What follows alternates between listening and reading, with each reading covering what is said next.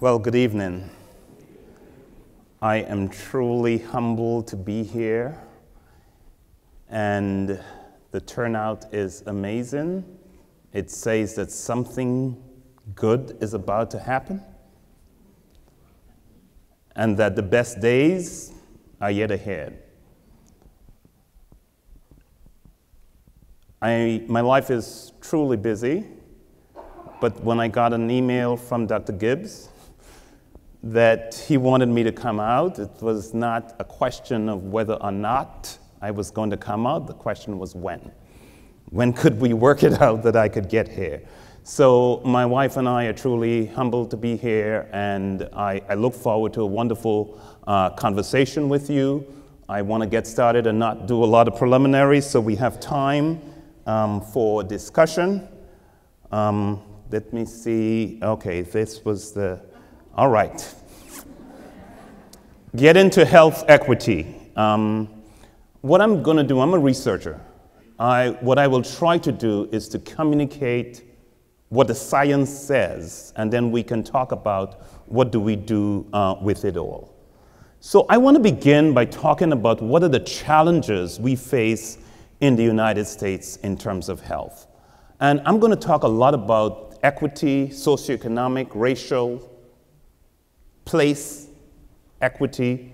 But I want to begin with one of the biggest problems we face as a nation. And that is, Americans are not the healthiest people in the world. We should be. We are less than 5% of the world's population. According to the World Bank, we consume one half of the money spent on medical care annually is spent in the United States. One half. But we rank near the bottom of the industrialized world on health, and we are losing ground over time. In 1980, we ranked 11th in the world on life expectancy. In 2014, we ranked 35th in the world on life expectancy. Countries like South Korea, Greece, Cyprus, Cuba, and Lebanon have better health than the United States as measured by the length of life. And it's not just the minorities that are doing badly.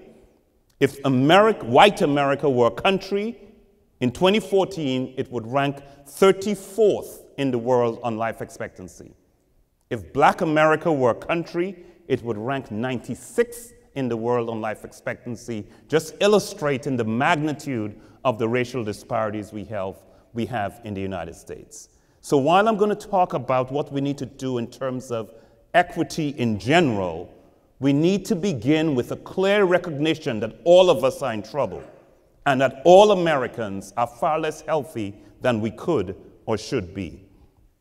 Socioeconomic status is a central determinant of variations in health and a central determinant of the distribution of desirable resources in society. I want to give you an illustration, not as far removed from health as you might think, but think of the SAT tests, right?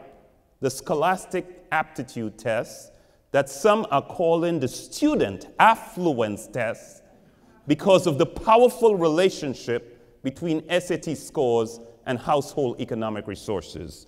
This is data from the Wall Street Journal. This is 2014 national data on SAT scores in the United States. And you can see the straight line graded relationship that every higher level of household income, from incomes less than $20,000 a year to income over $200,000 a year, you see the straight graded relationship between higher household income is associated with higher SAT scores. That raises profound questions of what does the SAT score means and how even as a society we should use it. But we can come back to that.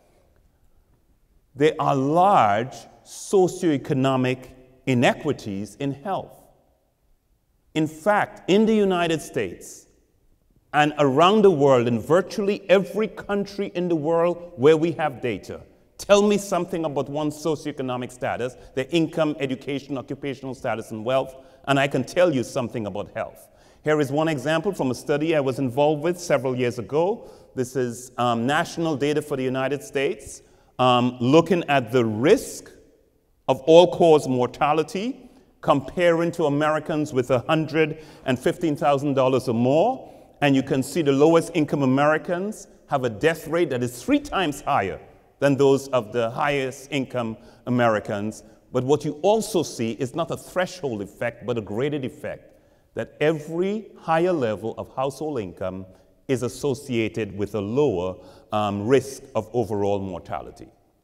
Those data on socioeconomic status and its powerful relationship to health would predict that there'd be large racial ethnic differences in health. Why? Because there are large racial ethnic differences in socioeconomic status in the US. Let me give you some national data for the United States from the US Census Bureau. This is household income in the US in 2015. And I'm just putting it in a way that you can't possibly miss the point. So I'm standardizing on the household income of whites. And I'm giving whites $1 of household income. And I'm saying, how do other racial groups compare in their household income for every dollar of income that white households have? And so, for every dollar of income that white households have in the United States, national data for the US, Asian households have $1.23. That has to be contextualized by the fact that 70% of Asians are immigrants, and Asians have markedly the highest level of education in the United States. And Asians also have, of any racial group, more persons contributing to household income than any other group. So if I did a per person measure of income, whites would have the highest per person measure of income. But let's look at the historically disadvantaged groups. For every dollar of household income in 2015 that white households have, Latinos have 72 cents, Native Americans have 62 cents, and African Americans have 59 cents. What is stunning about the 59 cents figure is that is identical to the racial gap in income in 1978. I didn't make a mistake. I didn't get the years confused. In 1978, the peak year of the narrowing of the income gap from the 1960s as a result of the civil rights policies and the anti poverty policies, the gap was closed to 59 cents for African Americans to the income of whites. And that's exactly where we were in 2015. Most of my students think we have made a lot more progress than that in the United States. And as bad as the income data should look, they dramatically understate the racial differences in economic resources. Why? Because income only captures the flow of resources into the household. It tells us nothing about the economic reserves that households have to cushion shortfalls of income. We get that by looking at wealth. And wealth captures the savings, the economic reserves, the home equity, the, the, the second home, the uh, added assets that individuals have. And the latest uh, federal data on wealth in the United States shows that for every dollar of wealth whites have, blacks have six pennies and Latinos have seven pennies. The racial gap in wealth is wider today than it was when President Obama took office because as a result of the housing crisis, blacks and Latinos had disproportionate losses in home ownership and home equity and a widening of the racial gap in wealth. So, not surprisingly, there are large racial ethnic differences in health. And I want to make this concrete for you. One of the ways that scholars have studied this is by coming up with this concept called excess deaths. And excess deaths refers to how many people of one racial group, so in this case, let's say black people, die each year who wouldn't die if there were no racial differences in health. And the latest report on excess deaths in the United States says that 83,000 black people die each year who wouldn't die if there weren't racial disparities in health. If I divide that by 365, I get over 220 black people dying prematurely every single day. Imagine a fully loaded jumbo jet with 220 passengers and crew taking off from Portland's airport and crashing tomorrow. And the same thing happened every day this week, and every day next week, and every day next month, and every day for a year. 220 Americans dying prematurely every day. That's what we mean, and that's just for blacks, when I say there are racial disparities in health in the United States. And these disparities in health start early, and even though we've made progress over time, they are strikingly persistent. This is one example. This is infant mortality rates by race in the United States. Infant mortality refers to the chances of a baby dying before its first birthday. And what these data show that African Americans and Native Americans have markedly elevated risk of infant deaths, dying before their first birthday, and the infant mortality rate for African Americans is more than twice that uh, of whites in the United States. We've made progress over time. Here's national data for the United States and another widely used indicator of health, life expectancy. Life expectancy at birth is how long would the average person live. And the good news is, if you look at 1950 to the present, you can see life expectancy has continually, steadily increased for whites, and it has steadily increased for African Americans, the two groups for which we have data going back to 1950. That's good news. There's also more good news. In 1950, there was an eight year gap in life expectancy. In 2010, whites live on average four years longer than African Americans, so we have reduced the racial gap in, in life expectancy by half. That is progress and needs to be celebrated.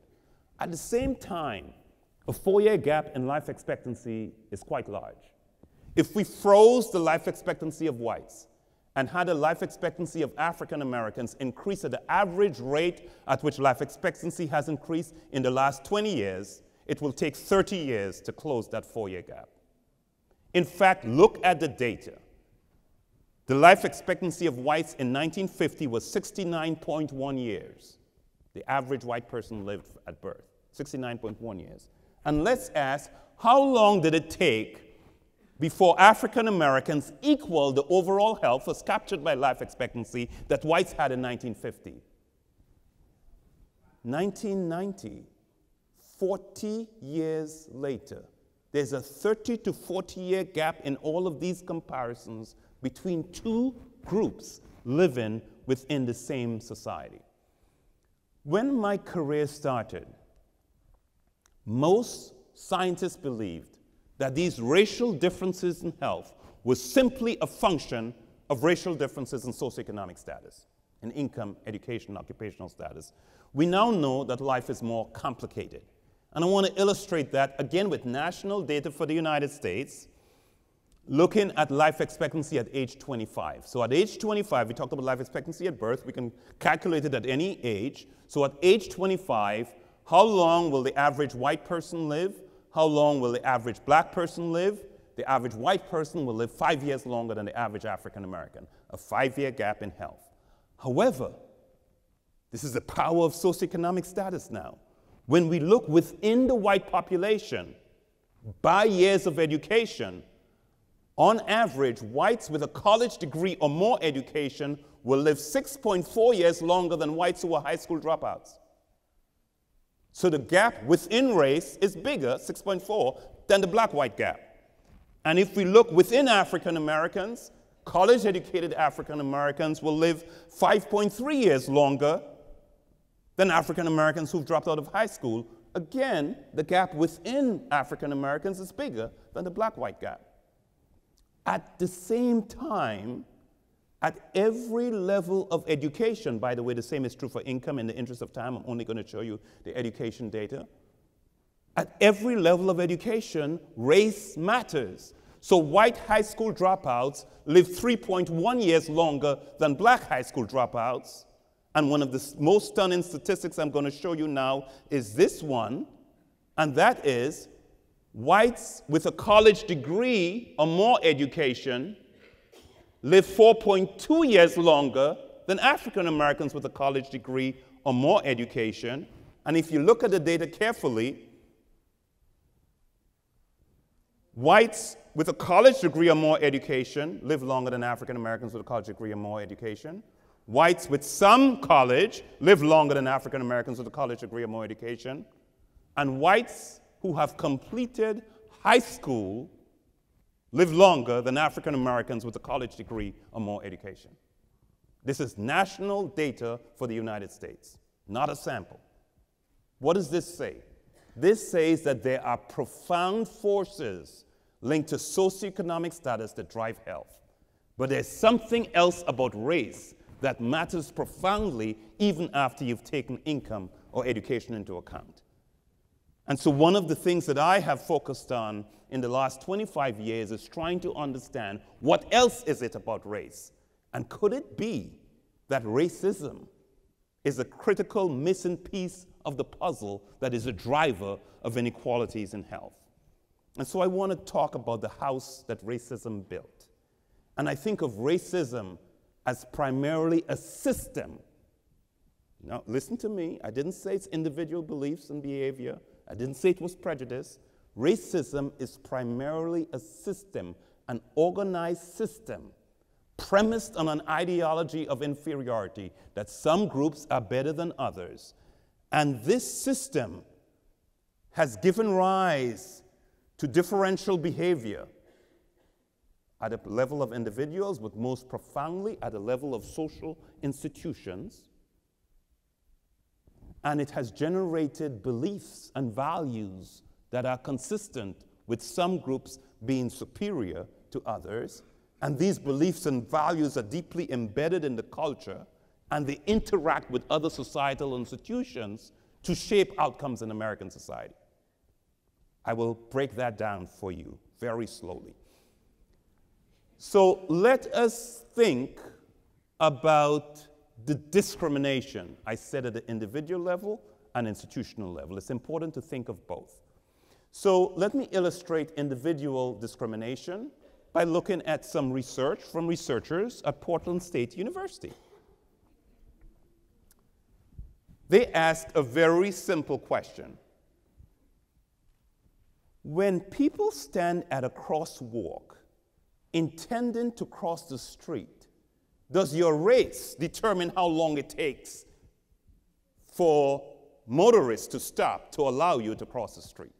And so they took three black males and three white males, dressed them similarly, and put them at different intersections and demonstrating the same approach that they were intending to cross the street and wanted to see if race mattered. And they found that multiple cars were twice as likely to pass a black pedestrian waiting to cross the street. And on average, African Americans had to wait 32% longer to cross the street than whites did in the great city of Portland. That's an example of individual discrimination. It illustrates what individual drivers did. I want us to think about institutional discrimination, and I picked an example also linked to waiting. This is national data for the United States, the 2012 presidential election. How long did people have to wait to vote in the presidential election?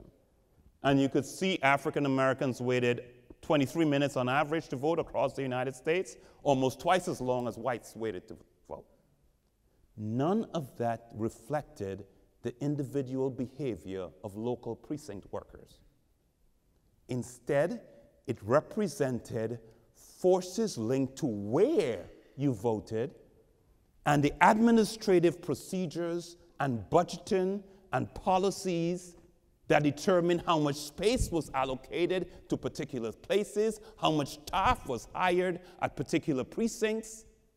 It did not reflect the local individual behavior of precinct workers. But the result was the same. And that is that on average, certain racial groups waited longer in order to vote because of institutional discrimination built into policies that operate even if the people administering them have no animosity in their heart. I want to share with you one of the deepest secrets in policy circles in American society.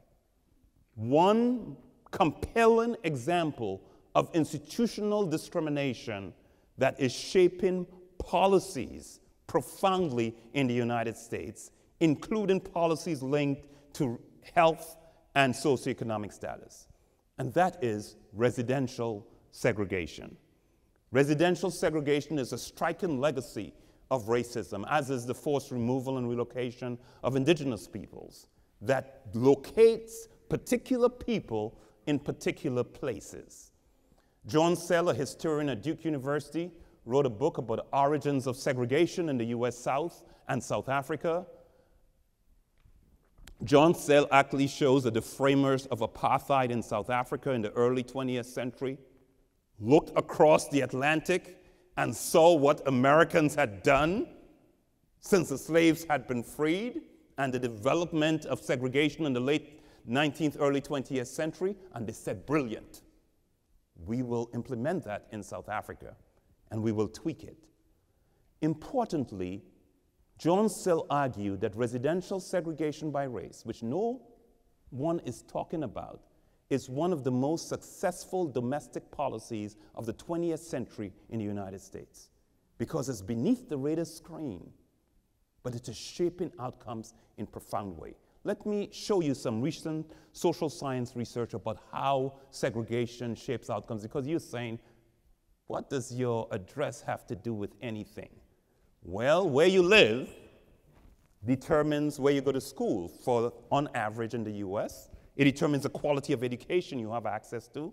It determines your access to job opportunities, to the quality of housing, the quality of neighborhood environments, uh, the, the access to, to, to fresh, nutritious food, the access to safe places to exercise, the exposure to, to toxic substances, uh, access to high quality medical care, the quality of city services that you receive, all of that is driven by place. This is a, a map. Um, Steve Woolf has created these maps. This is one for Denver, Colorado, but he's created them for many cities. And within the city of Denver, just by looking at people in one neighborhood compared to another, there's much as an 11 year difference in life expectancy. In some US cities, there's a 20 year difference in life expectancy, just linked to which neighborhood you live in. Place matters a lot for health, and in public health, researchers now say that your zip code is a stronger predictor of how long and how well you live than your genetic code. But let's look at empirical evidence. Two of the country's most eminent sociologists, William Julius Wilson and Robert Sampson, studied 171 largest cities in the United States and said because of segregation, there's not even one city where whites live under equal conditions to blacks, and that the worst urban context in which whites reside is considerably better than the average context of black communities. How powerful is segregation? It contributes it's responsible for the large racial differences in income and education that we talked about. Let me draw on work here of David Cutler, uh, until recently the Dean of the Social Sciences at Harvard University, one of the country's leading economists, using fancy econometric models I cannot fully describe. He is able to statistically estimate, using high quality statistical procedures, what would happen in America studying a national sample of blacks and whites if we could only eliminate residential segregation. And he documents if we could eliminate residential segregation, we would completely erase black white differences in income, in education, and in unemployment, and reduce black white differences in single motherhoods by two thirds. All of that driven by the opportunities linked to place and where people live in the United States. What does that mean? It means that the racial ethnic differences in income and education that we see are not random events. They didn't just happen, they're not acts of God. They reflect the successful implementation of social policy. Social policy doing what they were exactly intended to do, and it reflects the extent to which institutional discrimination has produced a truly rigged system in the United States. So I've talked about one institutional mechanism of racism, segregation, which shapes a broad range of outcomes in profound ways. I want to talk a little bit about individual discrimination.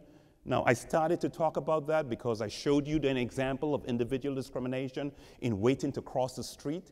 There is similar high quality scientific evidence that come from, from what I call audit studies, where you hold everything identical and the only thing you vary is race that documents discrimination in a broad range of domains of life. From hailing a taxi to renting an apartment to getting a loan to getting insurance to buying a home, all of these are areas where high quality scientific evidence documents the persistence of discrimination in American society.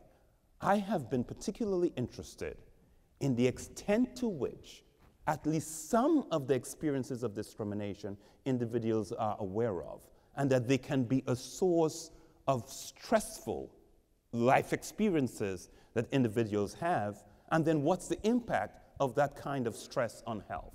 And so I developed um, a number of measures to capture discrimination. One that has really taken off is the everyday discrimination scale because of how powerful a predictor of health it is. It doesn't capture all aspects of discrimination, it just captures the minor indignities, the day to day little things in which you are reminded that you are less than. You're treated with less courtesy than others, and treated with less respect, and receive poorer service than, at, than others at restaurants or stores. And people act as if they think you are not smart, or if they are afraid of you, or if they think you are dishonest. Just, just nine items that capture that. Just to illustrate the power of that, um, showcasing the work of Dr. Tené Lewis, um, was a faculty at Yale University when she did this study. Each line on this slide represents a different published peer-reviewed paper. In one study, in, in all of the studies, she's looking at the exposure is everyday discrimination and a broad range of health outcomes, statistically adjusting for all kinds of confounders for those who are interested in the methods here.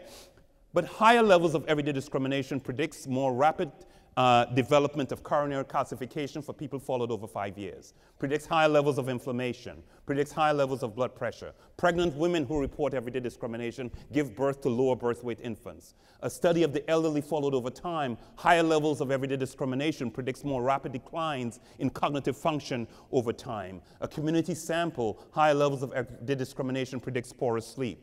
A study of adults followed over time Everyday discrimination is an independent predictor of premature mortality. It literally is killing people. A study of African American and white women looking at the relationship between everyday discrimination and abdominal fat. Everyday discrimination was not related um, to subcutaneous fat. That's the, the fat just immediately under your skin. Um, but it was a powerful predictor of visceral fat, the deep fat in between your internal organs, which is the bad kind of fat that increases your risk for cardiovascular disease and, and other conditions. So, just this slide illustrates the power of the research now documenting everyday discrimination as a bona fide risk factor for disease. Let me give you one other study. There, there, there, are literally hundreds of studies. In the early days of work in this area, I could keep up. In fact, I reviewed all the papers. I, I'm just overwhelmed. There's just so much work from around the world documenting everyday discrimination. But I want to focus on the work of Gene Brody in, in Atlanta. Because he has been studying discrimination in a sample of African American adolescents. And what he finds that African American youth who score high on everyday discrimination at age 16, 17, and 18. So they are teenagers. By age 20, I didn't say age 40, I said by age 20, they have higher levels of stress hormones, cortisol, epinephrine, norepinephrine, higher levels of blood pressure, higher levels of inflammation, higher levels of weight. So the effects of discrimination on health is evident very early in life, by age 20, among these African American adolescents. So I've talked about racism affecting institutional processes through segregation. I've talked about the stress of discrimination. I want to talk finally about racism within the culture and how it has consequences for health. Where do these negative stereotypes come from, and what, what consequences um, do they have for health? You know, scholars, some of us, are ingenious. A group of scholars have produced a database of American culture. They've put in this database of 10 million words the books, magazine articles, and so on that the average college educated American would read over their lifetime. What is brilliant about this is if you've put American culture into a database, you can now look within that culture and say, when the word black appears in American culture, what adjective is most frequently used with black? The answer is poor, and then violent, and then religious, and then lazy, then cheerful, then dangerous. For comparison, by the way, these are Uh, measures of associative strength. They're not the same, but think of them as simple correlation coefficients. They function the same way. If they, they always were tied together, it would be one. And the higher the, the score, it means the more tightly those things are, are, are paired together. When white appears, wealthy, progressive, conventional, stubborn, successful, educated. For the fun of it, when female appears, distant, warm, gentle, passive. Male, dominant, leader, logical, strong. Sound familiar, right? Deeply embedded stereotypes in American culture. Here are the 10 most common words used tied with black and white. And I've highlighted the, the negative stereotypes. And you see there are some negative stereotypes for whites, but they're not as strong, their strengths, they're not as closely tied together. And folks, this has profound implications for what we're studying as a society and what we're facing. Because you see the prominence of violent, lazy, and dangerous as negative stereotypes for blacks, as what, what, what people growing up in American society have seen paired together. This means that when a cop views an African American male as more violent and dangerous than he actually is and overreacts, we are not necessarily dealing with a bad cop. We may be simply viewing a normal American reflecting what is deeply embedded in his subconscious as a result of being raised in this society. Because there's a lot of scientific research that documents that these negative stereotypes trigger racial discrimination. One example of this was a 2003 report from the Institute of Medicine entitled Unequal Treatment. The committee, I served on the committee, was commissioned by United States Congress in 1999 that Congress asked the Institute of Medicine, now called the National Academy of Medicine, to answer a simple question. When black people and other minorities enter healthcare contexts in the United States, does your race determine what's the quality of medical care you will receive? We were not to address questions of access. Yes, there are racial differences in access. Given access, does your race matter? And what we found that it did. At the time, there were more than, there were almost 200 published peer-reviewed papers, and over 80% of them documented that African Americans and other minorities receive poorer quality care and less intensive care across virtually every medical procedure, from the most simple to the most complicated. To make this real, let me just give you an example of two studies by the same researcher. Dr. Knox Todd was an emergency room physician at UCLA Medical Center. And he asked a simple question. When a patient comes into the UCLA emergency department with a long bone fracture, does medical speak for a broken bone in the arm or legs? Does your ethnicity determine whether you get pain medication? You get a picture? And he found that 55% of Hispanics who had been treated at UCLA for a long bone fracture in the prior year had received no pain medication compared to 26% of non Hispanic whites. Dr. Todd was a good researcher. He said confounding. So statistically, he adjusted for whether the patient spoke English or not, whether they got injured on the job or not, what time they showed up in the ER, how long they spent in the ER, what, how severe was the fracture, were they, were they uh, hospitalized? After statistically adjusting for every other plausible explanatory factor, he found that the single biggest predictor of whether a patient got pain medication or not with a broken bone in the arm or legs was whether you were Hispanic or not. And that Hispanics, statistically adjusting for everything else, was seven and a half times less likely to get pain medication compared to whites. Dr. Todd moved from UCLA to Emory University in Atlanta repeated the same study at three large emergency rooms in Atlanta, looking at black and white patients and found exactly the same thing. A black person with a broken bone in the arm or legs goes into the emergency room is less likely to get pain medication compared to a white patient. Now, don't focus on pain because this has been documented in every area of medicine. There were more studies in the area of cardiovascular disease than any other area. How on earth do we make sense of this? How is it possible that in a country with the best trained workforce, where most providers, the overwhelming majority, wake up every day to do their best for all of their patients, can nonetheless produce a pattern of care that appears to be so discriminatory. The Institute of Medicine report concluded that the most plausible explanation for this phenomenon was something that social psychologists had studied for more than three decades called unconscious discrimination implicit bias, unthinking discrimination, because what that research shows, and this is important, it's not about white people, it's not about healthcare providers, it's not about Americans, it's about human beings. It's about how all of us process information. And we process information, the complex cognitive information we're bombarded with, by putting things into categories. Social categorization is normal. That's how we all do it.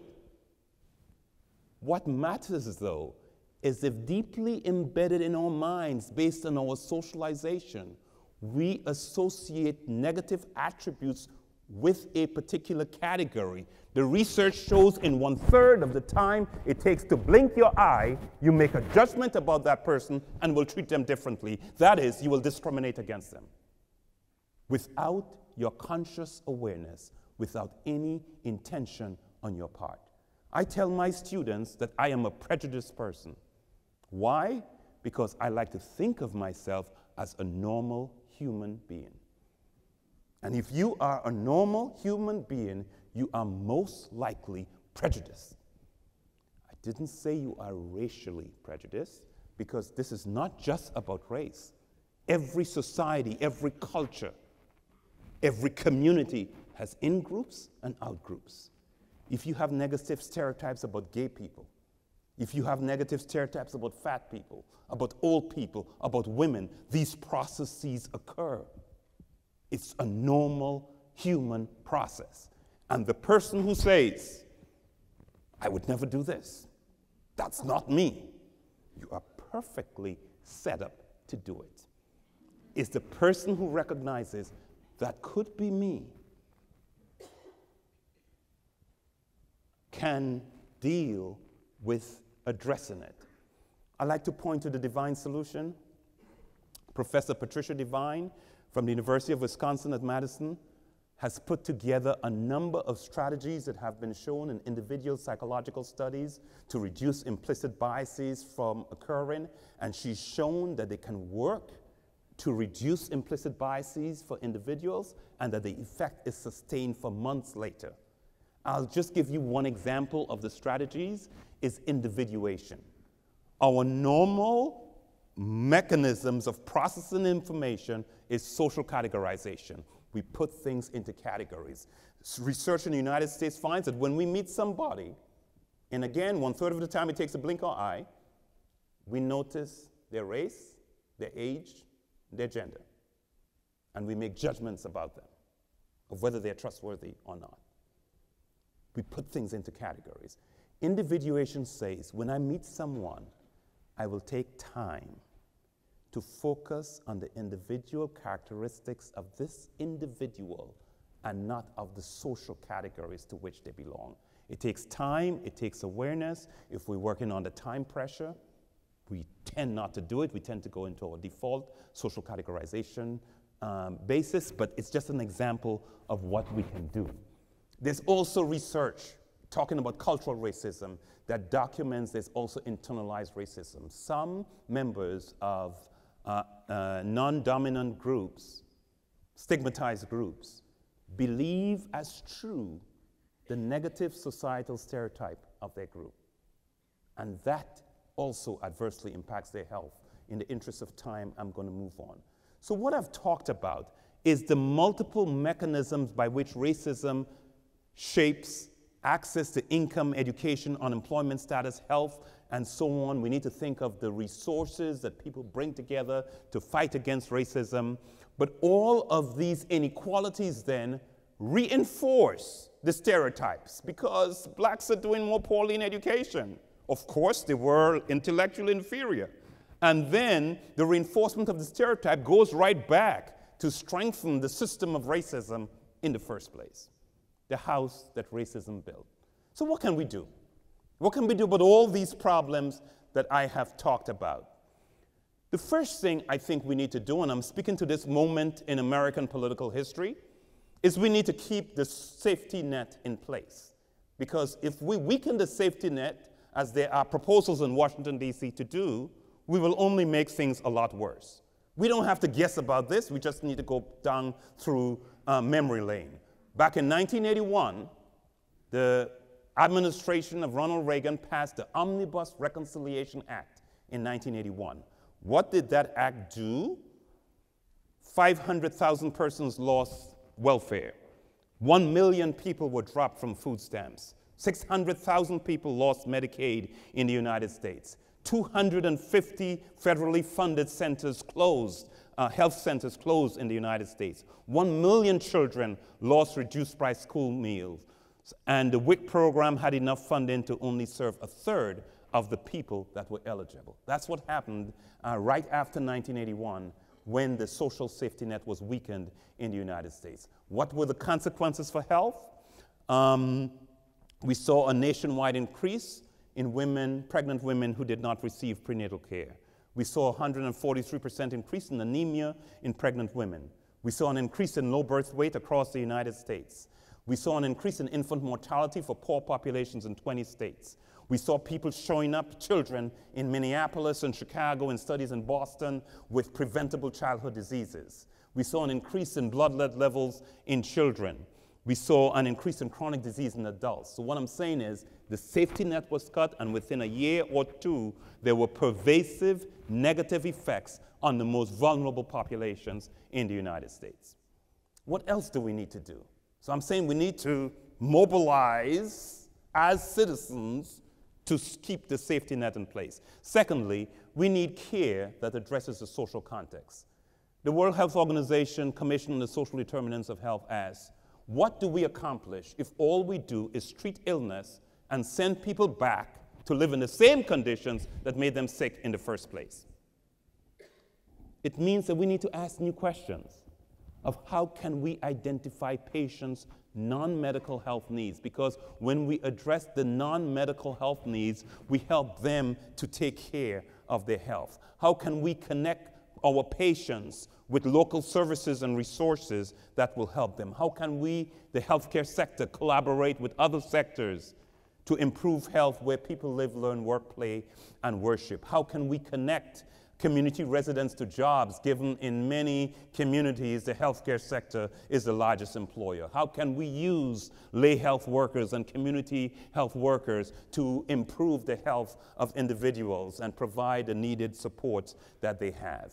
Uh, there are many examples of this. One that I like particularly um, is the medical legal partnership. Dr. Zuckerman, um, some 30 years ago at the Boston Medical Center, head of pediatrics, implemented this program. So at the Boston Medical Center, a primary care provider in the Department of Pediatrics can refer a patient to a number of specialists. One of the specialists he or she can refer to is a lawyer. The hospital has on site attorneys to solve problems in the lives of their patients. You see, if a mother brings a child to the pediatrics unit and that child has asthma that is secondary to living in a moldy apartment, and the mother has complained repeatedly to the landlord, and nothing has happened, all the asthma medication in the world will not help that child to breathe symptom free if the child is going back to the same conditions that made that child sick in the first place. And yes, a lawyer that calls the landlord and says you are in violation of the housing code of the state of Massachusetts and we will sue you if you don't fix the problem does produce results. So, a medical legal partnership is one strategy but there are others. Health Leads is another one that uses undergraduate volunteers to do similar things. Um, here is a classic study done by Len Syme, published in 1978. Len Syme at Berkeley. 244 low income patients, 80% of them African American, randomly assigned to receive one third routine care, sent on their merry way. Second, routine care plus a health education intervention, a lecture once a week for 12 weeks. Or third, they trained lay workers from the local community in the basics about hypertension and also trained them in what were the resources that existed in the community didn't have a revolution, didn't create new resources, but trained local people in the resources that existed to help people with problems that they faced. And they sent those lay health workers to make home visits. Seven months later, they found that patients in the outreach group had contact with the lay health workers, were more likely to have their blood pressure controlled, knew more about their blood pressure than any other group, were more compliant in taking their blood pressure medications, and among good compliers, they were, was twice as successful at controlling their blood pressure. Why? Because for those in the lay community intervention group, their health problem was understood and addressed, not as an organ system that was sick, but within the context of their lives. And so you had everything that a provider wanted. But we need to move further upstream. We need to address the non medical determinants of health. Given the role of segregation, we need to have some place based solutions in place. What are some of the things we need to do? One, we need to start early. Uh, let me give you an example of a program that started early and has had dramatic results. The Abecedarian Project in Chapel Hill, North Carolina, took economically disadvantaged, mainly African American children, randomized them at birth to an early childhood um, program in which they receive a nurturing and safe environment, good nutrition, pediatric care, stimulating environment from birth through five, they have now been followed over time. And this is, again, a randomized controlled trial. You've got a control group and you've got an intervention group. At age 21, the intervention group, fewer symptoms of depression, less, lower marijuana use, more active lifestyle, um, better educational and vocational asset benefits. By their mid 30s, they have now looked at their risk factors for cardiovascular disease and they find that the intervention group is doing better on multiple dimensions. I'll give you one example. Look at the systolic blood pressure differences 143 among the control group, the intervention group 126. Dramatic differences on a broad range of cardiometabolic risk factors linked to what we did birth through five. Starting early makes a difference. We also need to improve economic well being. In the last 60 years, the biggest narrowing of the black white gap in health occurred when the black white gap in income narrowed. And that was between 1968 and 1978. Rich, there have been several studies, but I'll just give you one of them. Richard Cooper shows that the declines in mortality for men and for women, this is the percentage decline for men, this is the declines for women and the percentage decline for women. It was larger for African Americans than for whites. The health of African Americans between 1968 and 1978 improved more rapidly than the health of whites, and we had a narrowing of the black white gap.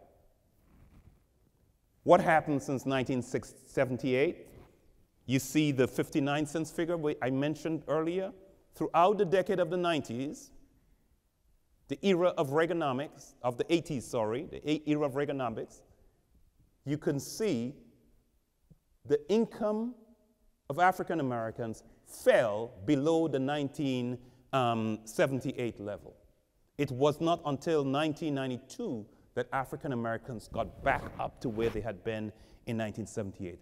What happened to the health of African Americans during that time? For four years in a row after 1984, so there seems to be a lag time involved. For four years in a row, the life expectancy of African Americans declined from the 1984 level. During the 1980s, the era of trickle down economics, we had an absolute worsening of the health of African Americans. What else do we need to do?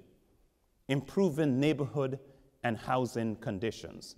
We have examples from randomized controlled trial, the moving to opportunity um, study, where public housing uh, residents were randomized to move to better housing, lower uh, housing with lower levels of poverty. They have been looked at 10 to 15 years later. Those who were randomized to live in better neighborhoods, lower rates of obesity, lower rates of severe obesity, lower diabetes risk. No health intervention. All that was done, they changed their neighborhood. Now, I think this provides high quality scientific evidence. I don't think it provides a model. You shouldn't have to move out of your neighborhood to live in a better neighborhood. But we need to invest in the neighborhood to improve the quality of life, and we know if we do that, we will improve outcomes. We also need to dismantle institutional racism, and that is not easy. Why? Because I said that racism is an organized system. And one of the things about a system is that racism shapes all of these dimensions of society.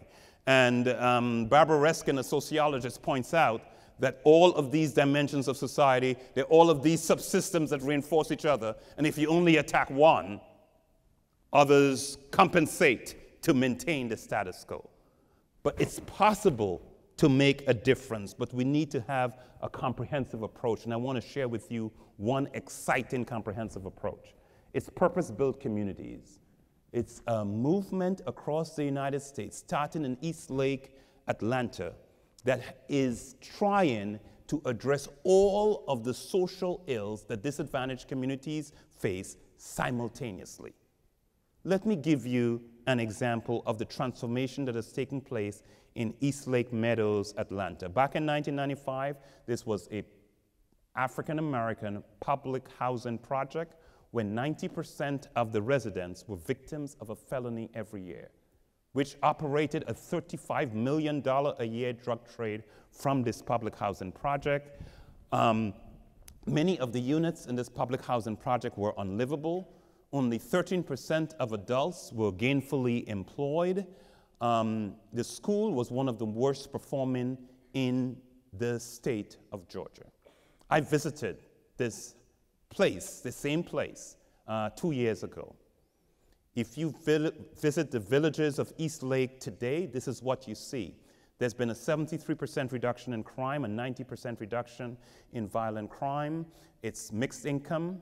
50% of the residents still qualify for public housing. Um, all able bodied persons are employed. The school is one of the best performing schools in the entire state of Georgia a complete transformation of a community. There's a, a, supermarket right next door to the housing project. It's amazing the transformation that has been done as the community leaders worked with a wealthy philanthropist and worked with um, the city of Atlanta and have completely transformed that neighborhood. This model is being replicated in communities across the United States and purpose built communities will provide free technical assistance to any community in America who wants to replicate their model. Why it's important is that it shows that it can be done. Because too often I run into people, the school that's doing so well, 60% of the students still qualify for reduced price lunches. Yet it is one of the best performing in the entire state of Georgia. It's possible, it can be done if we put our minds to it. One last example, and then I'm going to stop. As we think of undoing racism, it is not enough to open the doors of opportunity. We need to ensure that those persons for whom we've opened the doors are able to walk through them. Let me give you, illustrate that with the case of medicine in the United States. And help me to answer the question how well did affirmative action in medicine work for women and minorities? Most people, most Americans, when they hear of affirmative action, they think of minorities and forget that affirmative action was for women and minorities. And forget that affirmative action has been very successful for women, and most of the women have been white and have gone home to white households. So the biggest beneficiary of, Amer- of affirmative action in America have been whites. And whites show the greatest opposition to affirmative action. Immense irony. But let's look at data. This is 1965. You can see only 6.9% of medical graduates in America were female as a result of affirmative action policies in the 60s and 70s. In 2010, 48%. Today, it's 50%. Dramatic improvement. Here are the numbers for minorities, and I go back to 1950. You could see in 1960 um, and 1970, just about 3 point something percent of all medical school graduates were African American. And you could see in 2010, just over 6% of medical school graduates are African American Latino. For Native Americans, they're still hovering less than 1%. So, what I'm saying is, affirmative action policies work much better for women than they did for minorities. Why? I think the different success reflect that the women were prepared to walk through the doors of opportunity. The minorities were not. It's not enough to bring people to the starting line of a race and say, because I've put you at the start of the race, you are free to run and to compete when you are still shackled. And we have to think of what we do to the pipeline and how we build the pipeline and how we prepare individuals to be successful because it's not enough simply to open the doors. In 2014, according to AAMC, there were 27 fewer African American males in the first year of medical school in the United States than there had been in 1978. In the mid 1960s, 2.9% of all practicing physicians in the US were black. In 2012, only 3.8% of all practicing physicians in the US were black. The numerator and denominator has increased, um, but it's, we've gone from 2.9% to 3.8%, 5.2% were Latino. There is nothing so unfair, Thomas Jefferson said, as the equal treatment of unequal people. There is enormous inequality I have described tonight, and there is nothing so unfair if, as some Americans would like to insist, that we treat everybody the same. You cannot treat everyone the same if they're not starting out at the same place. So, what am I saying tonight? Racism in its multiple forms is alive and well.